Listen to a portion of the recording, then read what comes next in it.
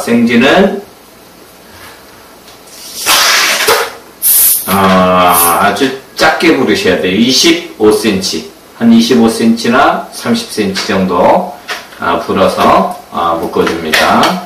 그리고 작은 강물을 3개를 만들어줍니다.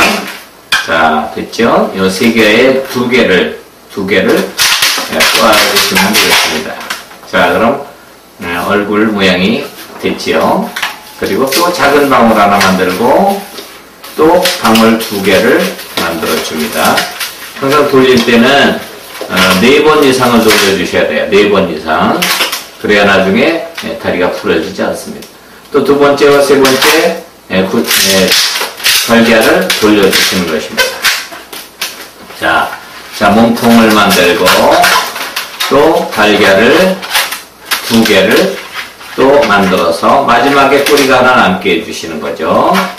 그래서 두 번째와 세 번째 달걀을 또 돌려주시고 어, 이렇게 하면은 아유 귀여운 생쥐가 되었습니다. 네. 네, 다음입니다.